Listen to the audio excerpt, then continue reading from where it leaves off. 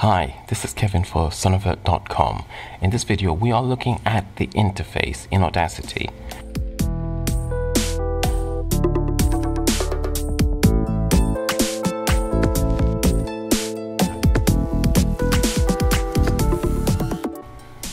And in particular, the new color scheme for Audacity, which is available in Audacity 2.2.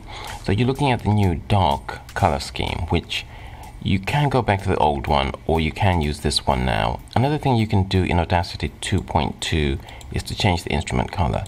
This is not a sticky setting. You have to do this for each project that you decide to work with. The default uh, color for the wave is this one here. And this may be useful for you if you need to differentiate between different instruments whilst you're working on a project.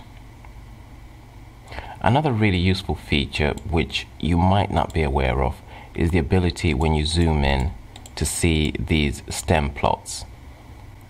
This may make it easier to line up different tracks. We'll see how to get those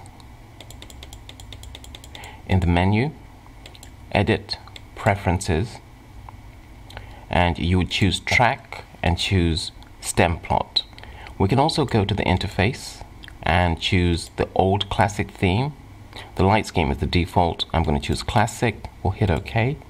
And you can see the change. This is the old scheme with the old icons. So you've got all those options now. So I hope some of that's been useful for you. If it has, hit the like button, share the video, and subscribe for more videos.